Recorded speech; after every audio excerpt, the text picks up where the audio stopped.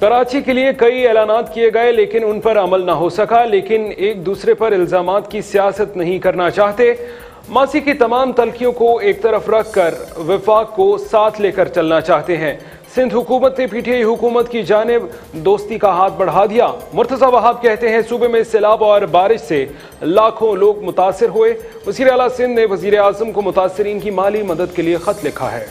वफाकी वजरा ने कह दिया कि ग्यारह सौ अरब में बासठ फ़ीसद जो है वो वफाकी हुकूमत का है और अड़तीस फ़ीसद जो है सूबाई हुकूमत। जो टोटल कंट्रीब्यूशन है फेडरल गवर्नमेंट की जानब से, वो तीन सौ बासठ अशारिया नौ अरब रुपए। दो सौ साठ अरब पब्लिक प्राइवेट पार्टनरशिप प्रोजेक्ट के थ्रू किए जाएँगे। एक सौ तीन अरब रुपए वो वफाकी हुकूमत खुद फंड करेगी। ऐलान उन्होंने एक साल का, वो आपको याद होगा, एक सौ बासठ अरब रुपए किया था। क्रेडिट लेने की कोशिश की थी, अमली एतबार पे कागज़ी चीज़ की है तो वो एक सौ तीन अरब रुपए कराची के लिए रख रहे हैं। तीन साल में सालाना आगे गया तैंतीस अरब रुपए। फेडरल गवर्नमेंट जो चीज़ों को ट्विस्ट कर रही है, वो कराची सर्कुलर रेलवे की बहाली का जो काम है, उसको अपने खाते में डाल। कराची सर्कुलर रेलवे सीपेक का हिस्सा है।